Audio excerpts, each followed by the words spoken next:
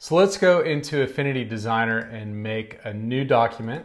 And what I want here is I want to do 13.3 by 13.3 inches at 300 dots per inch.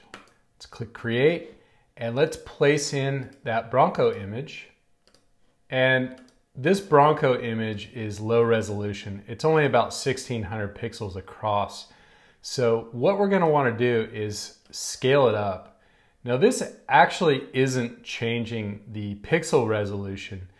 To change the pixel resolution and scale this up, what we need to do is go to Layer, Rasterize. So the image is degraded a little bit anytime you scale up your image, but that's okay because we're gonna do so much manipulation to this image that it's not gonna matter. The next thing I wanna do is let's make a clipping path. So what we want to do here is let's use the pen tool and let's just start drawing a path around the edges of this Bronco. And I'm just gonna speed this part up so you don't have to watch me draw these paths. But drawing paths, it does take a lot of practice. And what you wanna do when drawing these paths is use the least number of points possible while drawing it. That'll help you get the best look to get your points right. And you can go in and drag some of these handles around to correct things as you're going.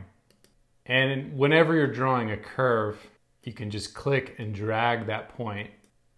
And if you need to make a hard corner, just click on that last point that you drew and that'll make that corner sharp.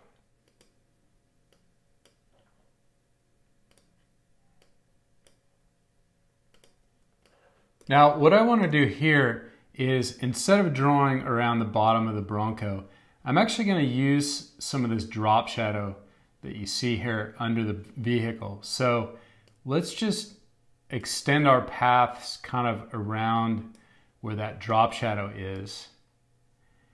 And then you'll get to the base of the tire that's hidden by the curb here.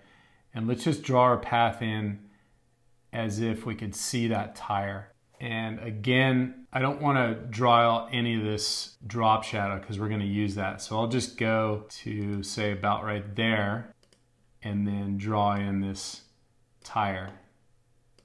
And the next thing we need to do is see under the border rack here where there's some open space, we need to draw those paths out too.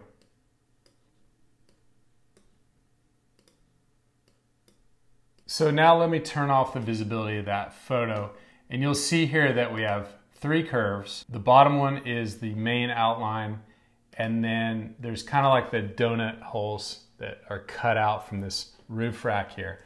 So let's select all these curves and then we're gonna use this Boolean operation right here.